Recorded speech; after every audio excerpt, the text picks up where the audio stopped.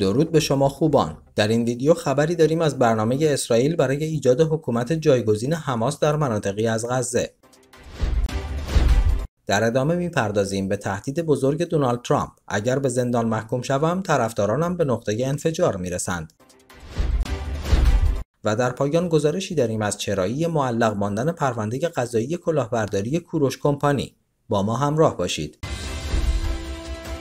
دوستان عزیز تیم ما برای تهیه ویدیوهای این کانال زحمات زیادی رو متحمل شدن اگه محتوای ما رو میپسندید لطفا برای حمایت از ما کانالمون رو subscribe و روی زنگوله کلیک کنید. برنامه اسرائیل برای ایجاد حکومت جایگزین حماس در مناطقی از غزه. همزمان با اظهار نظرها درباره احتمال رسیدن به توافق آتشبس در جنگ غزه وزیر دفاع اسرائیل تاکید کرد کشورش نمیپذیرد گروه افراطی حماس در هیچ یک از مراحل پایان دادن به جنگ بر غزه حکمرانی کند. یواف گالانت گفت دولت اسرائیل همزمان با اقدامات نظامی گزینه های جایگزین حماس برای حکومت در غزه را در دست بررسی دارد. او در ادامه توضیح داد اسرائیل قصد دارد مناطقی را در غزه مجزا کند.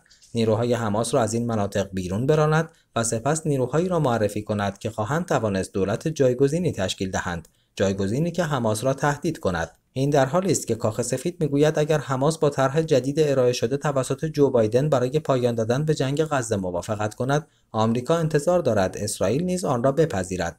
جان کربی سخنگوی شورای امنیت ملی کاخ سفید در گفتگو با شبکه خبری ABC گفت این پیشنهاد اسرائیل بود. ما کاملا انتظار داریم اگر حماس با پیشنهادی که برای آنها ارسال کردیم موافقت کند در آن صورت اسرائیل نیز بله بگوید. ساعتی پیشتر اوفیر فالک یکی از مشاوران ارشد نتانیاهو به ساندی تایمز گفت سخنرانی رئیس جمهور بایدن به هر دلیلی یک نطق سیاسی بود. آقای فالک گفت جزئیات زیادی وجود دارد که باید بررسی شود و تا زمانی که همه اهداف ما محقق نشود آتشبس دائمی در کار نخواهد بود. انتظار می رود کابینه جنگ اسرائیل جلسه ای برای چارچوب مطرح شده توسط رئیس جمهور آمریکا برای آتشبس در غزه و آزادی گروگانها برگزار کند. گروه افراطی حماس که آمریکا و اروپا آن را گروهی تروریستی قلمداد می کنند اعلام کرده است نگاهی مثبت به پیشنهاد تازه آقای بایدن دارد.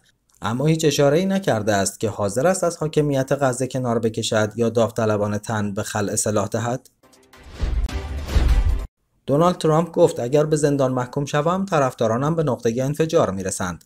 دونالد ترامپ رئیس جمهوری پیشین آمریکا هشدار داد چنانچه پس از محکومیت تاریخیش در پرونده پرداخت حق‌السکوت برای او حکم زندان صادر شود می‌تواند نقطه انفجاری برای حامیانش باشد. او در مصاحبه با شبکه تلویزیونی فاکس نیوز گفت شخصا با ایده زندانی شدن به خاطر 34 مورد اتهام در پرونده پرداخت حق‌السکوت مشکلی ندارد اما سپس هشدار داد. فکر می‌کنم پذیرش آن برای عموم مردم سخت باشد و بالاخره یک جایی به نقطه انفجار می‌رسند. او البته توضیح نداد اگر طرفدارانش به این نقطه برسند به نظر او چه رخ خواهد داد. لارا ترامپ عروس دونالد ترامپ و نایب رئیس کمیته ملی حزب جمهوری خواه. در پاسخ به این سوال شبکه خبری CNN که حامیان ترامپ در صورت زندانی شدن او چه باید بکنند گفت آنها همان کاری را می کنند که از اول انجام دادند یعنی خونسردی خودشان را حفظ می کنند و در پنجم نوامبر با رأی دادن اعتراض خود را نشان می دهند او افزود هیچ کاری نمی توان کرد جز اینکه صدای خود را بلند و واضح به گوش دیگران برسانید و علیه این موضوع صحبت کنید. هیئت منصفه دادگاهی در منحتن نیویورک ده فروردین 1403 رأی داد. دونالد ترامپ رئیس جمهوری سابق آمریکا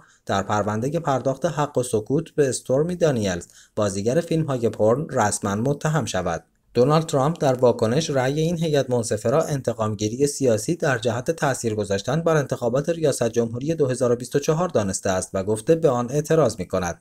اما استورمی دانیلز با نام اصلی استفانی کلیفورد در گفتگویی با روزنامه انگلیسی میرر سکوت خود را شکست و در رابطه با اجرای حکم برای دونالد ترامپ گفت فکر می کنم باید به زندان محکوم شود و همچنین خدمات اجتماعی هم انجام دهد مثلا برای افراد کم بزاعت کار کند یا اینکه داوطلب سپر بوکس در یک پناهگاه زنان شود.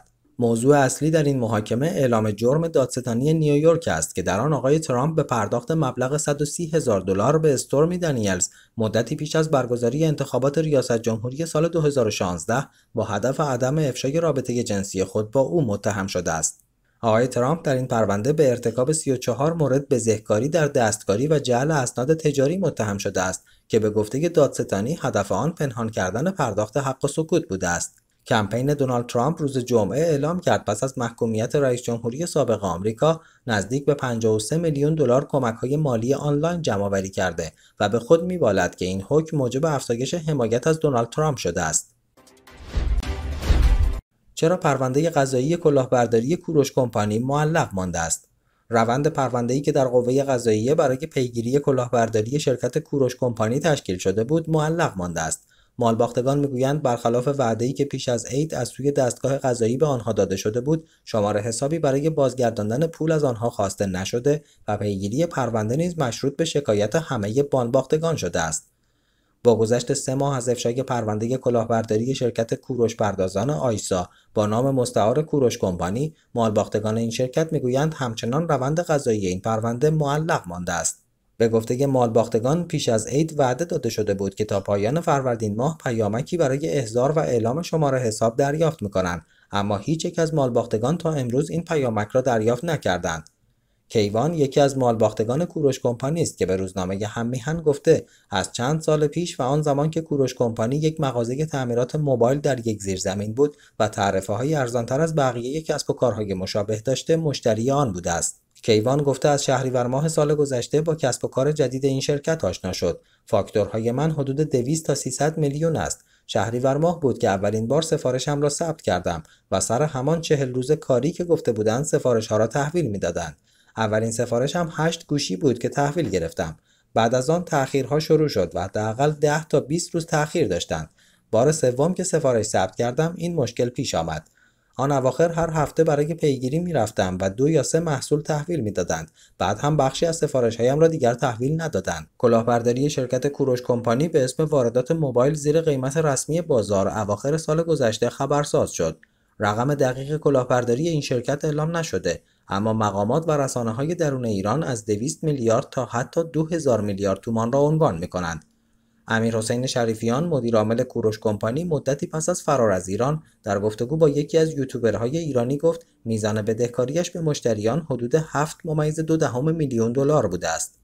امیر حسین شریفیان مالک کوروش کمپانی متولد 1375 و یک سرباز فراری است که بر اساس گزارش ها با 180 روز غیبت اولیه اقدام به تکمیل دفترچه سربازی می کند اما از رفتن به سربازی خودداری کرده و از سال 1400 تا امروز سرباز فراری است. پس از انتشار هایی درباره سرباز فراری بودن امیرحسین شریفیان هایی درباره خروج او از کشور مطرح شد. سردار حسین رحیمی اما درباره دلایل جلوگیری از ممنوع خروجی مدیر کوروش کمپانی گفته ما از حدود سه ماه قبل اقداماتی را در این خصوص آغاز کردیم. اما چون جرم مرتکب نشده بودند و شکایتی نیز نبود امکان ممنوع خروجی هم فراهم نشد. سخنان رئیس پلیس امنیت اقتصادی فراجا نشان می‌دهد حسین شریفیان پاسپورت داشته است. او توضیح نداده چطور امکان دارد یک سرباز فراری گذرنامه دریافت کند. سخنگوی وزارت خارجه هفته گذشته درباره استرداد متهم کوروش کمپانی گفته بود اقدامات این وزارتخانه درباره این موضوع متنوع و متعدد بوده است.